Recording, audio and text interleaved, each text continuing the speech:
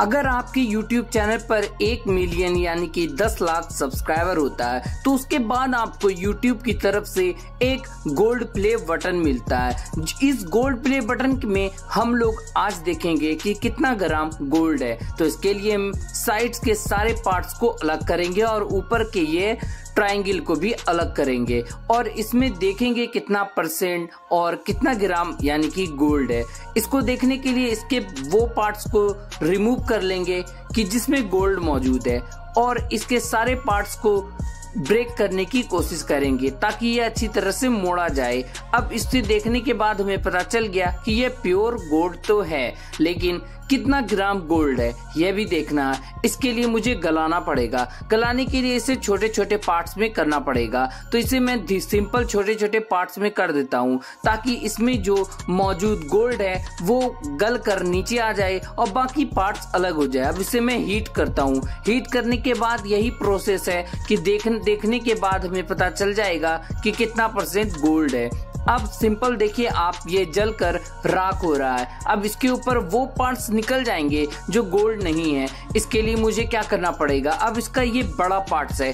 इस बड़े पार्ट्स को मुझे किनारे से, साइड से पिघलाना पड़ेगा, ताकि इसे मैं मोड़ पाऊँ। अब मोड़ने के यही तरीका है। अब देखिए, इसे मैं गोल्ड को सिंपल धीरे धीरे से मोड़ने की कोशिश कर रहा हूँ, ताकि इसे गोल तरह से मोड़कर फिर इसी में डाल पाऊँ। अब देखिए, एक लकड़ी की सहायता से अब मैं इसे मोड़ लेता हूँ। मोड़ने के बाद मैं वापस उसी कंटेनर में डाल देता हूँ, जिसमें मैं हीट कर रहा हूँ। बाकी पार्ट्स अलग हो जाते हैं। बाकी पार्ट्स जिस तरह से निकल रहे हैं, इससे पता चल जाता है कि यह गोल्ड नहीं था। तो अब जो पार्ट्स गोल्ड है इसमें, वो पार्ट्स तो बिल्कुल उसके अंदर गली जाएगा। अब ये जो राख है, ये इसके अंदर जो राख है, इसको हम लोग बाहर निकाल कर फेंक देंगे, क्योंकि ये गोल्ड नहीं है, ये इसका जलन है।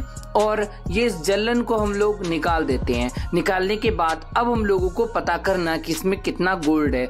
अब इसके हीट्स किए हुए पार्ट्स को हम लोग थोड़ा ठंडा करने की कोशिश करेंगे। ठंडा करने का तरीका ये है कि सबसे पहले हम इसे निकालेंगे, उसके बाद अब इसे एक कंटेनर में डालेंगे, यानी किसी भी एक एरिया में डालेंगे, जिसमें हम इसको तोल सके, यानी एक शेप दे सके। उस शेप के बाद हम इसे माप लेंगे। अब इसे ठंडा होने के बाद, अब मैं क्या करता हूँ, सिंपल इसे निकाल लेता हूँ। निकालने का प्रोसेस है सीधा और उसके बाद अब इसे ठंडा कर लेता हूँ पानी में डालकर। पानी में डाल के ठंडा करने के बाद अब इसे मैं मेजर करूँगा। जैसे ही मैं उसे मापूँगा, तब हमें पता चलेगा ये एक्चुअल में कितना ग्राम है। इससे यह पता चलता है कि इसमें दो ग्राम गोल्ड है। वीडियो को लाइक करें और चैनल पे न्यू हो सब्सक्राइब करें। मिलते हैं आपको एक नेक्स्ट वीडियो